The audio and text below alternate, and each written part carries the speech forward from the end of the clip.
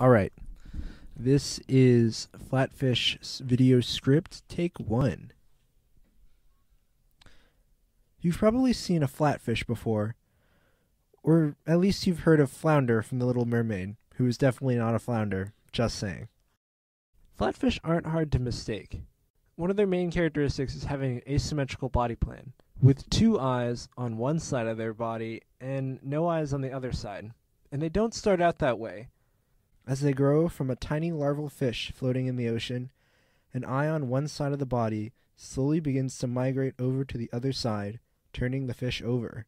With such an obviously unique body plan, you might also assume that all flatfish are all related to each other in one big happy family. And, well, that may not be the case. There are scientists who spend their entire career studying the relationships of organisms to each other and they use the cladograms you might have made in high school biology class. To review, these cladograms basically show the relationships between different organisms and whether they share common ancestors. This is where we get the tree of life, but scientists usually work on a much narrower scale.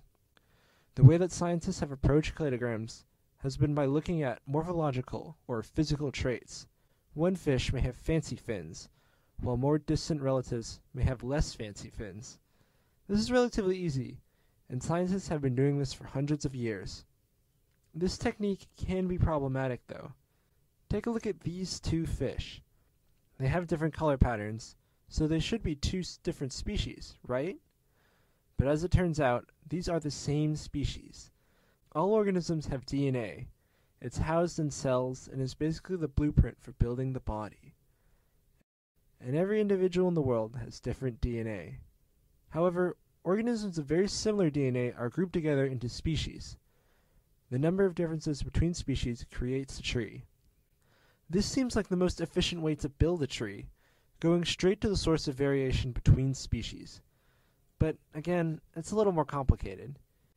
Genes vary in the rate of mutation or change based on their function. Some genes aren't expressed or used by the body to make proteins. It's kind of like spam email you don't ever check it, it kind of just piles up over time. So, mutations will accumulate over time without any consequence. Genes that code for proteins, however, are used constantly, and some are linked to essential functions. So, any alterations that affect them will affect the organism, usually in a bad way. So, these are under strong pressure to not change. So, depending on the genes you look at, Two distantly related species may be more closely related to each other than in reality. This diversity and complexity behind even just a few species may seem overwhelming, but it really is cool to take ideas that seem so obvious and turn them on their head. And that's what science is all about.